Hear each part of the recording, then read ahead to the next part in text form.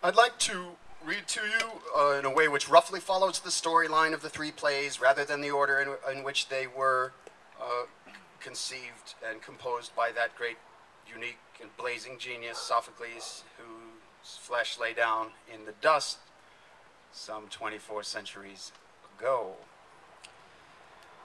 Therefore, beginning with some excerpts from Oedipus the Tyrant, we will see the hero destroyed.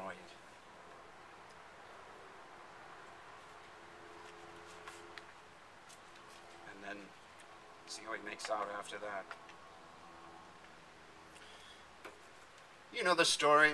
There's a plague in Thebes. People are dying. Cattle can't give birth. The trees are sterile. The crops are rotting on the vine. They send Creon, the uh, brother-in-law of the king, to go find out from the oracle of Apollo what is the problem. He goes, finds out the problem, comes back, reports it.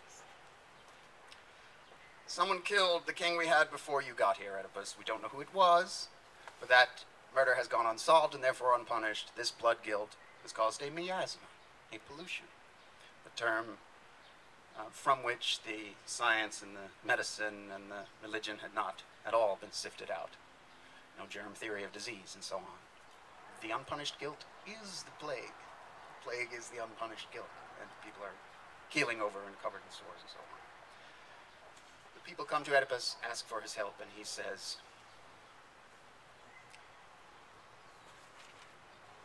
But I will go back again, again, show everything from the beginning.